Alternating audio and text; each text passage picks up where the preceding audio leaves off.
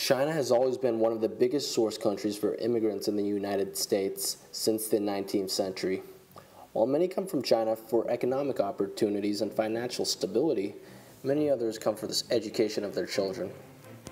A substantial group of children in China have been educated in the Western system and are Americanized, and thus are looking for further education in the United States.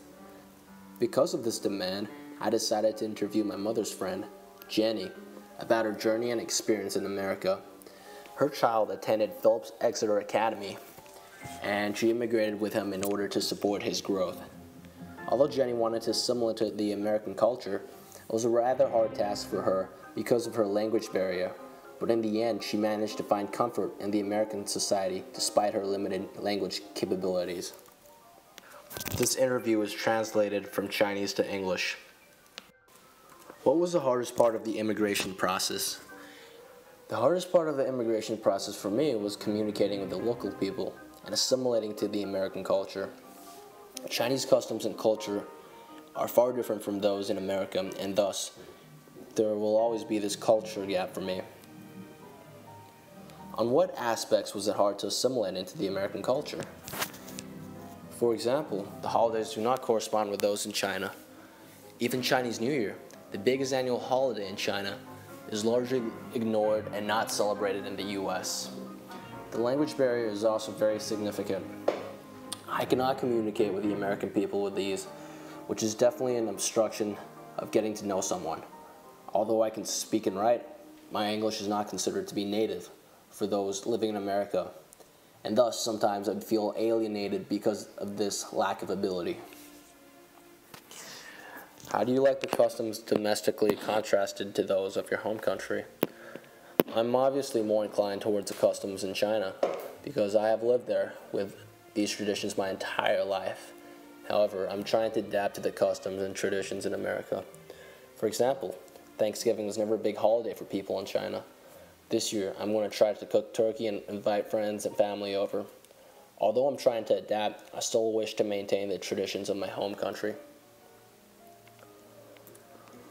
What cultural traditions have you maintained?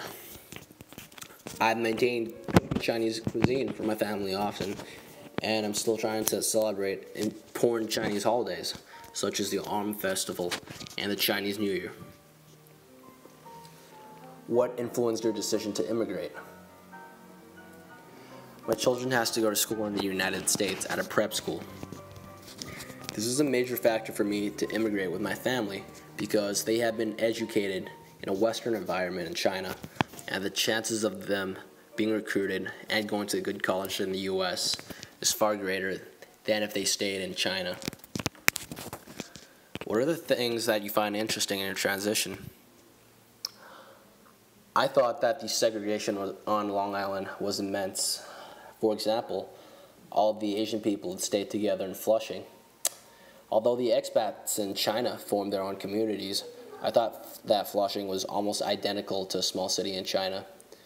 You could be able to not speak a word of English and still get around in Flushing. Are you willing to integrate to the local culture, or do you wish to preserve your identity in this new location? The truth is, I am willing to assimilate into the American culture.